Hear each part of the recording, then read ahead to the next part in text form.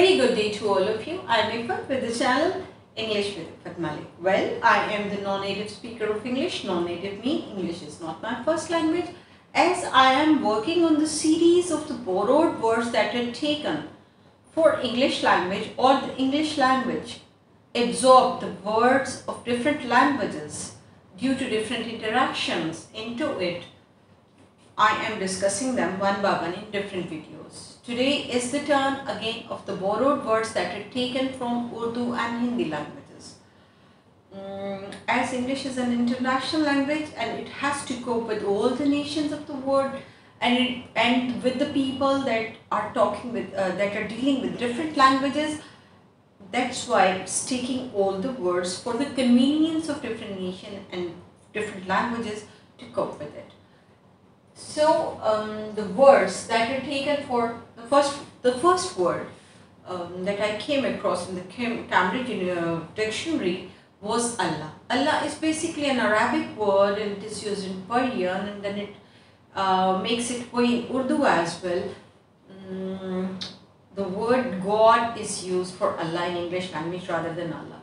They have taken Allah, um, actually um, why they have taken Allah, there was a lot more controversy about it that we can, um, as we think that Allah is almighty and it has eternal powers, so if we will pronounce it God, it will become, uh, we can uh, change it into plural, we can change into, um, we can change its gender as well, like we can make God to gods and uh, goddess, but you cannot change Allah into plural or you cannot change its gender. So the first word is Allah. English has taken as it is and it is considered an English word now because it is included in the dictionaries and if a thing is included in the standard language it becomes their word. Second word is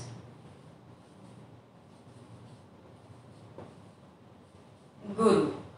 Guru definitely is a Hindi word when uh, Britishers made colonies in the different uh, parts of the world, subcontinent Indo-Pak was one of the colony of Britishers.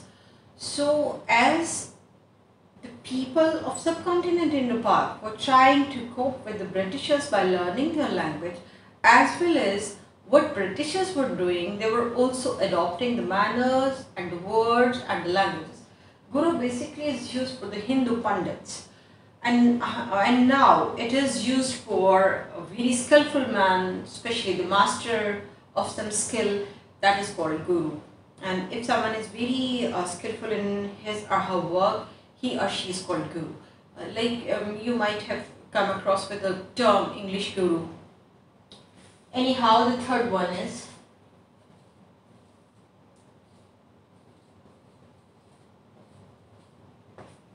jungle there is no jungle-like word in English. It is forest, it is called woods, but jungle was predominantly used in subcontinent Indo-Pak. So it is now the substitute of forest and woods and it is very much part of English and now jungle is included in English and same is the case with the word loot. Loot, loot mean um, rob to steal or to take something without permission. So loot is a Hindi or Urdu word and it has taken the shape and, and uh, now definitely we are using it, it, and we are using in English structure as well. Uh, that they are looting uh, their native, they are looting their relative wealth, they are looting um, whatever, loot me, rob like uh, they are robbing. So same is the case with looting. When we will use ing present participle with it, we can use it in um, participle sentences, present continuous sentences. So the looting, loot is now an, an English word. Again, the word is khaki. Khaki basically is a color that represent uh, the dust-like color as the soldiers, soldiers of the army wear the uniform of this color. so this color is very uh, much used and in vogue and this was called khaki. Uh, still it is called khaki in Pakistan and India and um, they call it khaki uniform. The soldiers are wearing wearing khaki uniform. So khaki is the part of English language now. So the third one for your consideration is khushi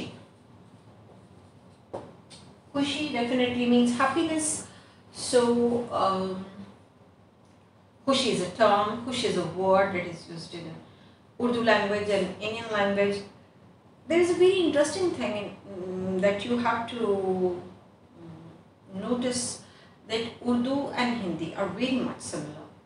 Actually, Urdu language is the transcript or the uh, script of Urdu language is written from right to left and uh, the script of Hindi is written from left to right and they are called it Devanagari. Actually, uh, they want to, um, they don't want to make any similarity with Pakistan or with Muslims that's why they have used this um, script for their writing. Uh, almost when they speak, when the people of Pakistan and India speak the language, it almost seems alike. So uh, anyhow, this is another problem. This is not the topic of discussion. We are discussing the words that are being uh, that have been taken for English language um, into uh, from Urdu and Hindi. There is a very interesting word, jugaad.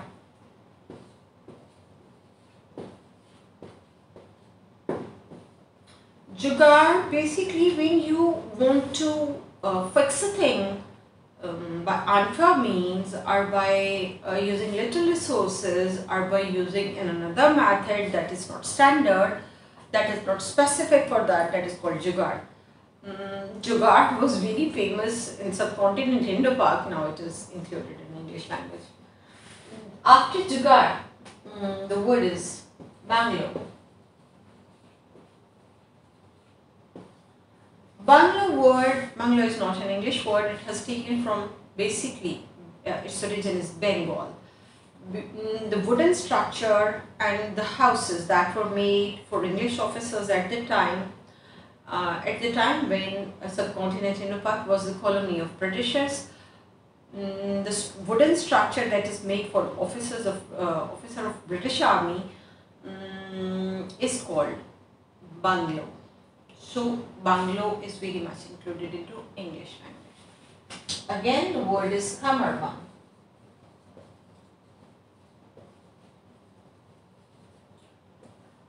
Kamarband, um, you can say, you can call it a belt. Kamarband is a Persian um, word and it has made its way into Urdu language and it is used in uh, shalwar kameez basically and it's not an English word and you can see it as the alternative belt. Kamarband, it is included in English language but it's not an English word. So for your consideration these are few words uh, that I have taken for your um,